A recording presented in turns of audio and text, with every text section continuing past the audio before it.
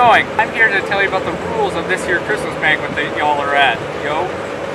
So, uh, yeah, I'll just read off from here. When you, when you come through the doors, you gotta stay in there. You gotta stay in the gym and around the gym. You can't go back outside or else you're uh, kicked out of the event. You're not allowed to come back in. You gotta pay an extra $20 to come back in.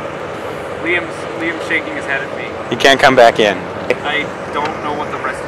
Okay, Riley, I'm gonna do this. Give me this hat. I'm I don't even know if they're real. Dress code! Train conductor. Greetings! Christmas banquet. It's gonna be a good time, but you're gonna have to have rules. Guys, that's the way it is, alright? So, rule number one, no removing the clothing. Rule number two, you leave the event, you can't come back. Sorry, that's the way of the road, you know? That's the way it is. Also, dress appropriately. Your your clothes finger length. No, you're doing the thigh. That's my thigh slap. That's mine. If you would like to bring extra money, because there's a candy table, four candy bags. Is there a candy table?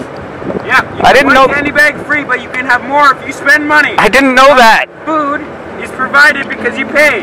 You can't come in after that. All the tickets have been sold, by the way. Let's let's wrap this up. None.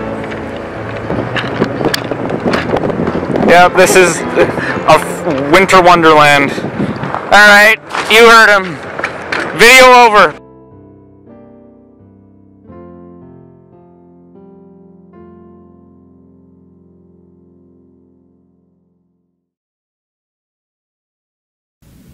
I'm I'm just assuming that the the rules are the dress code.